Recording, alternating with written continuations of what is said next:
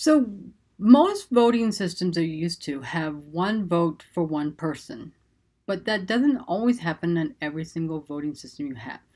A weighted voting system is a system where each voter has a different weight.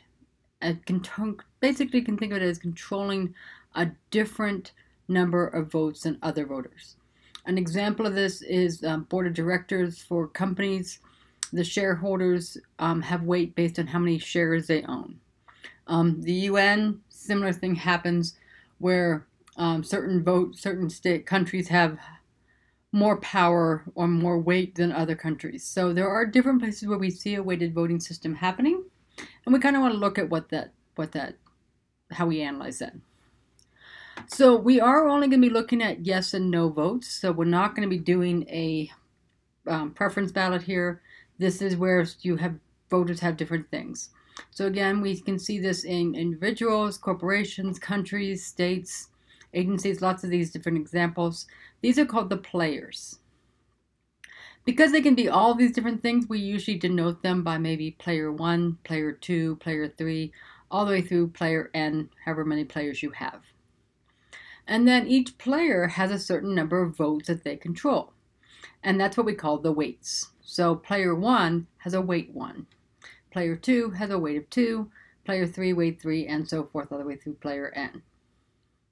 Now, to make something vote, since it is just yes and no votes, then you have to have a minimum number of votes to pass something.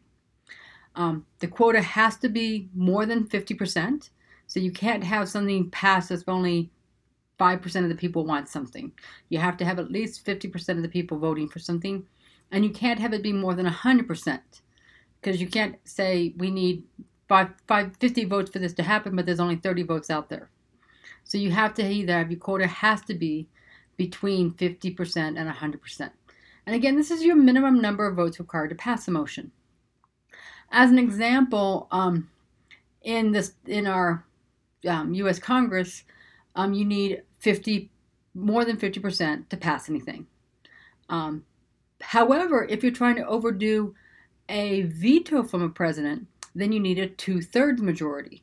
So you need more than 50%, you need two thirds to vote to make something pass, override or veto. So that's kind of an example where you see different quotas.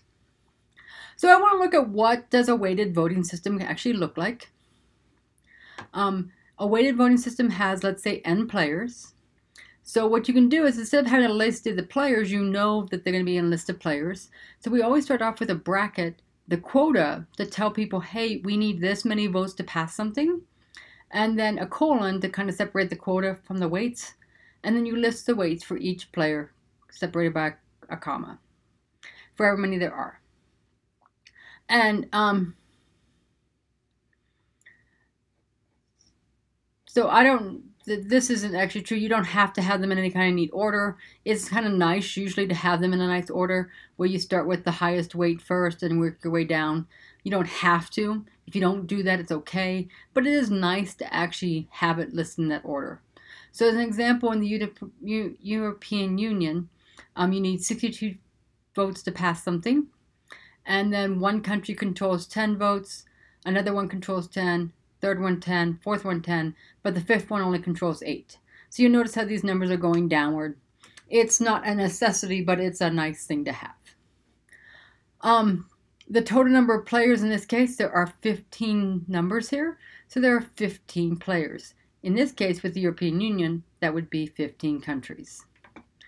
Um, the total number of votes, if I would add all these numbers up, I would get 87 votes.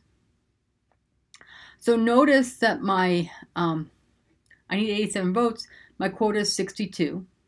And half of 87 is not 62. 62 is more than that. So you need more than 50% to have something pass. Um, the weight, let's say we want to do a weight of one of the players, let's say player six, and you just go one, two, three, four, five, six, and that player controls five votes. Um, the quota again is the minimum number of votes you need to pass something you need 62 votes to pass anything. Um, again, um, 62 over 80 over 87, so there's 87 votes. So to find out what percent you actually need, you can take your 62 votes, your quota, divide by 87 to find out that you need a 72% of the votes. Um,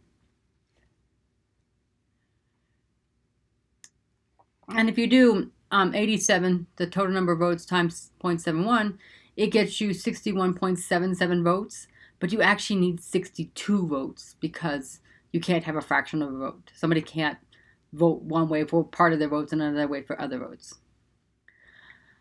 So here's another example of a weighted voting system. Um, you have your quota here, six for the first player, four, three, three, two, two.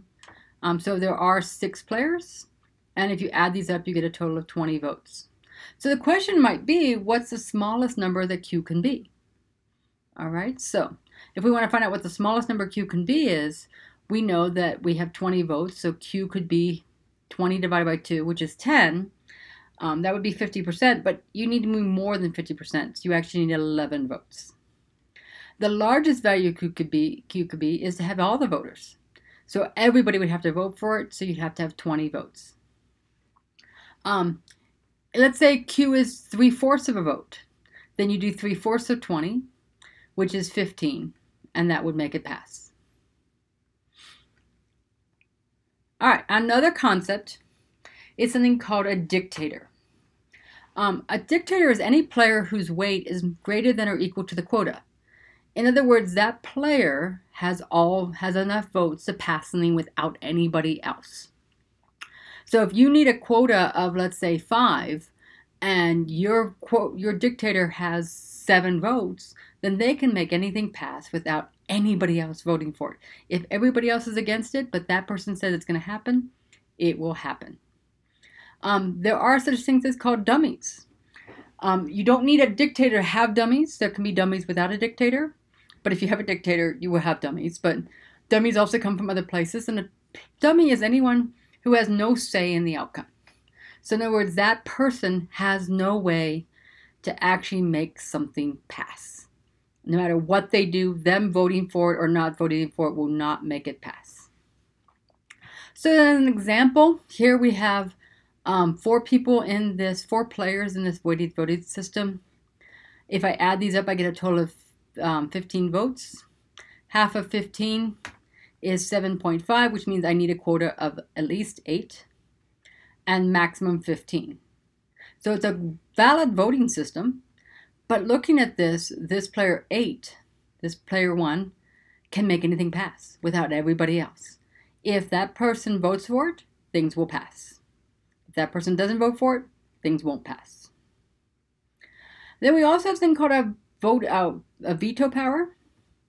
A veto power is a motion can cannot be passed without this player being involved. So in this weighted voting system, um, we have a quota of nine. And if I look at this, player one has eight votes. So player one's not a dictator because their quota is less than nine.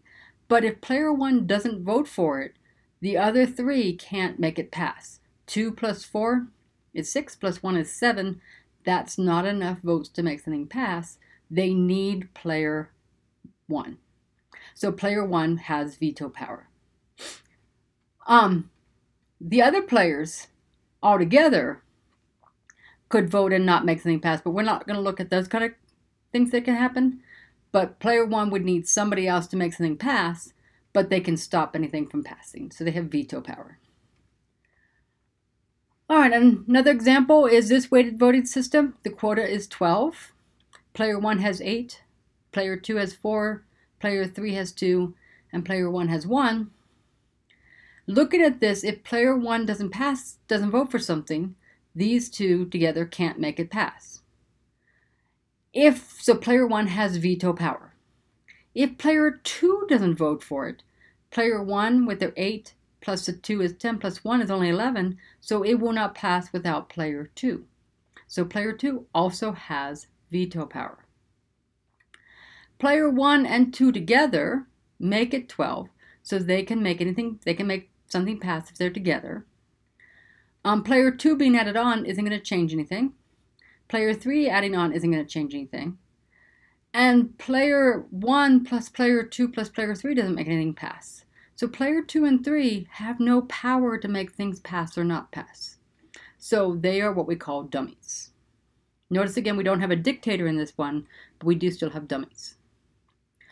Um, just because somebody has low number of points doesn't mean they're a dummy either. In this case, with the weight of 15, uh, sorry, the quota of 15, and each of these weights, because the quota is 15, all the four players must vote for something to make sure it passes. So in this case, all of the players have veto power. So that can also happen. Any one of them doesn't vote, the thing doesn't pass.